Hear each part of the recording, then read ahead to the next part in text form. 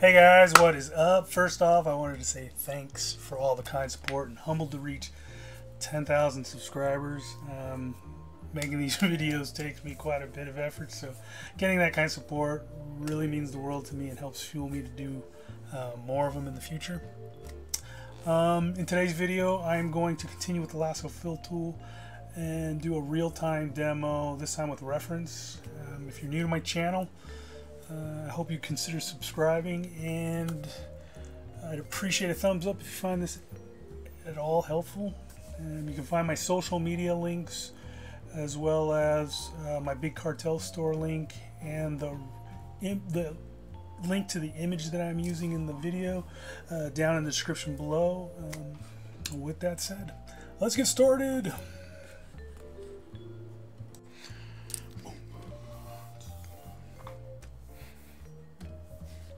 I'm just going to dive right in.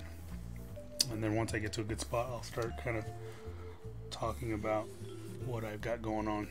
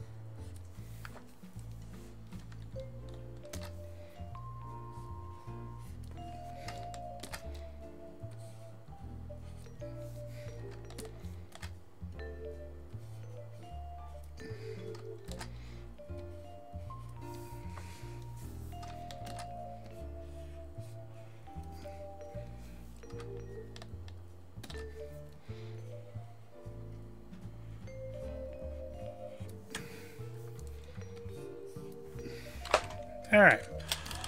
So as I finish that up, again, I just bang out the dummy. So I, I'll go ahead from this point, um, start looking at um, things that I felt that I could have worked on as I was going through it. So just the analyzing, right? So um, especially like when you're doing it with the with the mannequin, you know, I, I know for me it loses a little bit of that uh, it gets more stiff, right? And so, and so this is the point where it's like once you start building the mannequin, what kind of things can you keep in mind, or what kind of things that I try to keep in mind?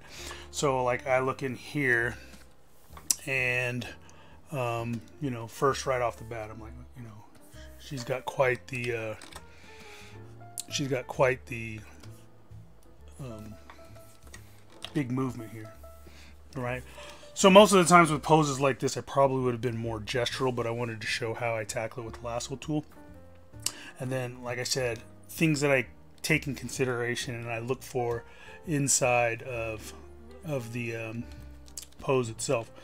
So we'll start with at the head, right? You know, things that I'll I'll, I'll focus on angles. I'll focus on um, way things twist, right? And things where I'm like, oh, I would have pushed that a little bit further. Um, you know, bent that up a little bit more. Right, so I could come in here and exaggerate this part a little bit more. Get her, you know, more so with that angle, you know, so you can feel it. Because again, again, working with shapes and stuff like that, you know, and with this way, you know, you can just go ahead and grab it, cut it up, and then push it where where you need it to be pushed.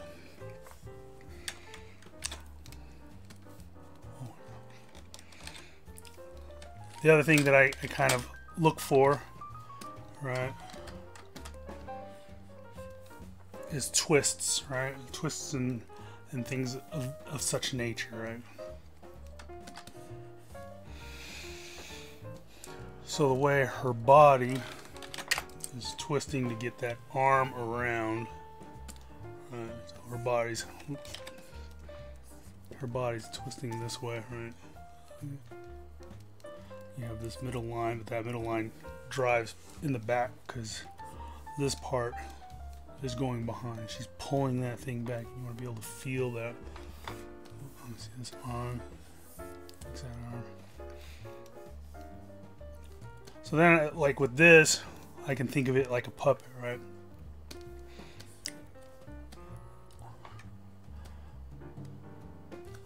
That's the animator part of me. I'll, you know,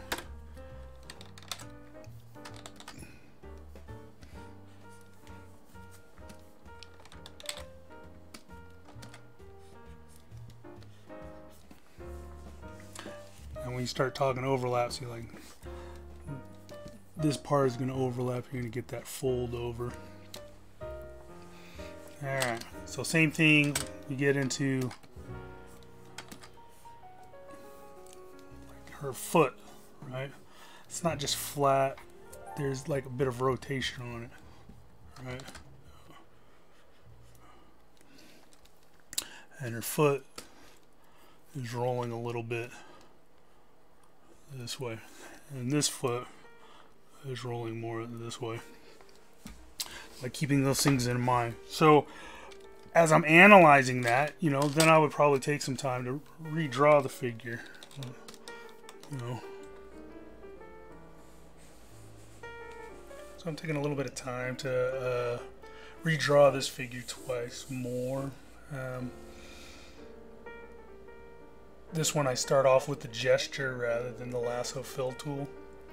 Um, again, you know, when you're looking at poses and analyzing, you know, one of the hardest parts is um, figuring out how you want to start it, right? So I just wanted to show other variations of that starting. You know, I tried to get more gestural with this one in the beginning and then I just draw right over it.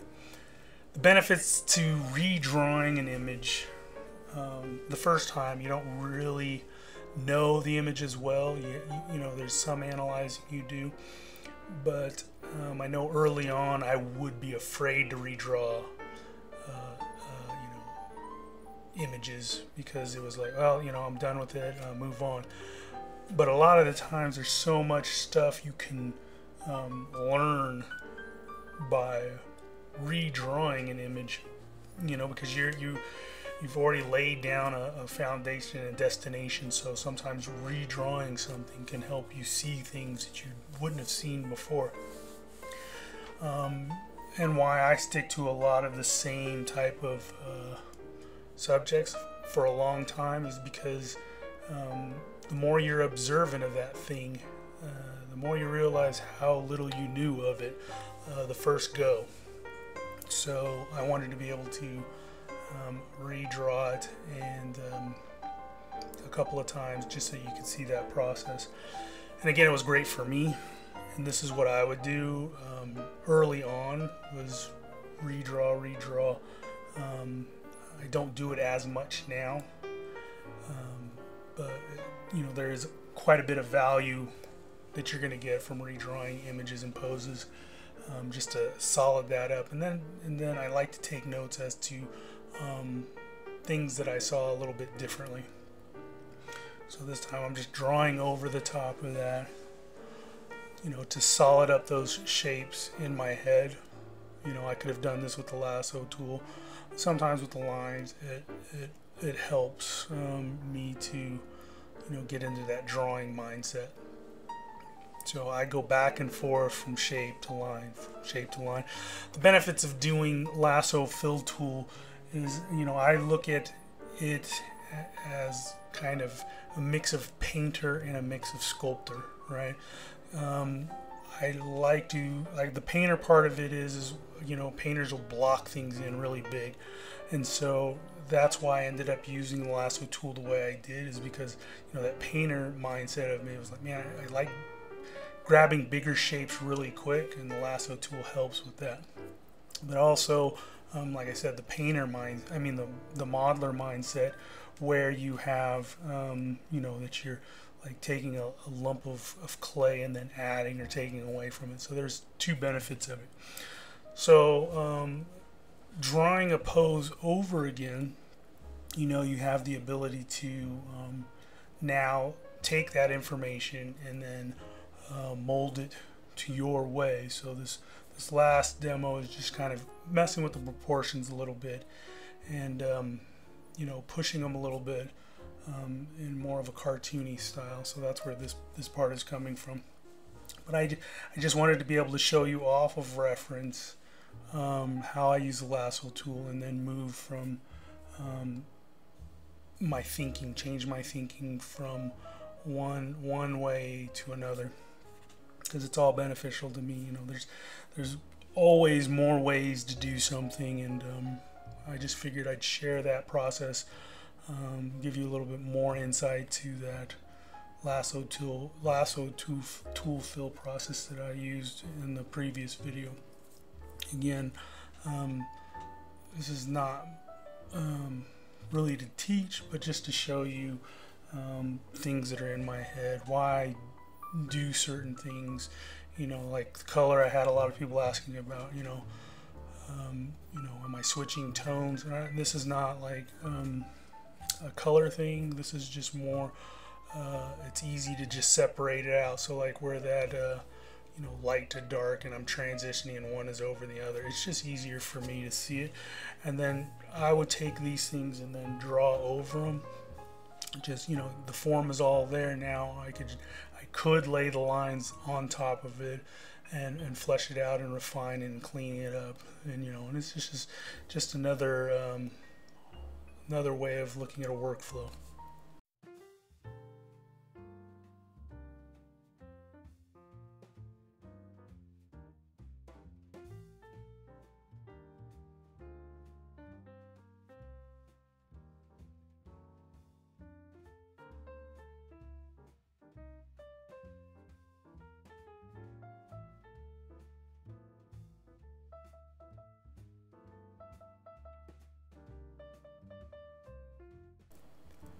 like I, I changed her uh, head position here just you know to have her looking more like she's gonna spike it down.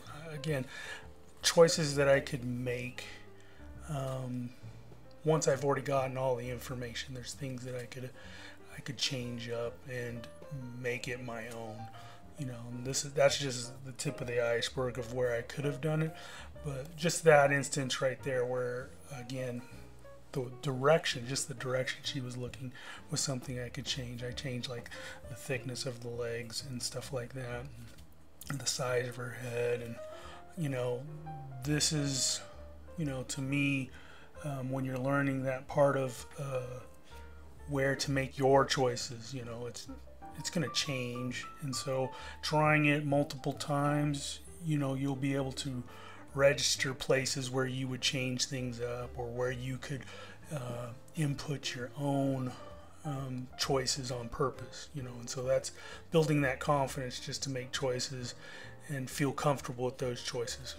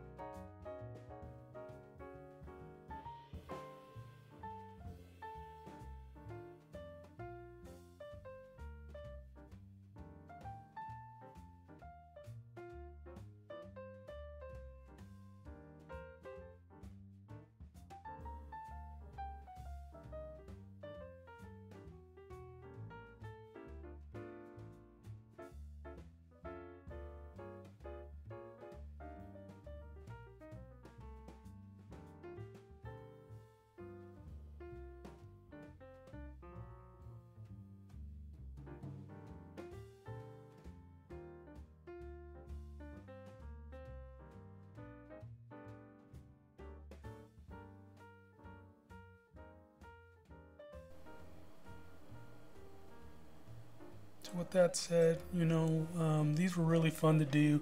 Um, I don't know how insightful they were, but I, I hope somebody out there uh, appreciated it. and uh, we'll see you the next time. Uh, keep on keeping on.